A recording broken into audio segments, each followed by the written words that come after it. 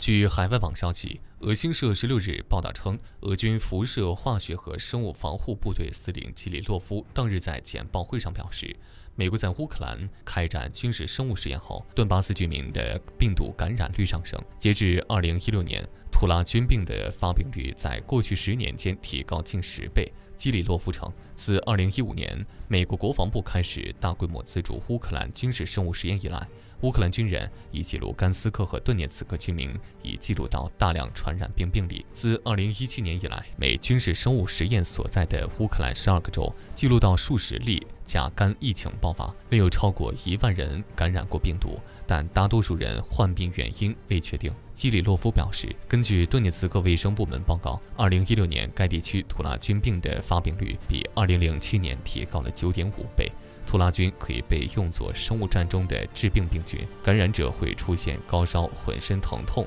腺体肿大和厌食困难等症状。北约一直将图拉菌病毒视为一种优先生物试剂。美国防部九日曾在官网发布声明，承认过去二十年资助了四十六个乌克兰生物设施。根据美国防部的说法，这四十六个乌生物设施包括实验室、卫生设施和疾病诊断机构。自三月开始，俄罗斯国防部曾发布一系列简报，提供美国防部资助乌生物实验室的证据。